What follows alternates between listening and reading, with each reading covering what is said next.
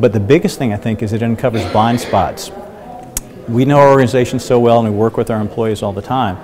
We get used to taking for granted how we do certain things.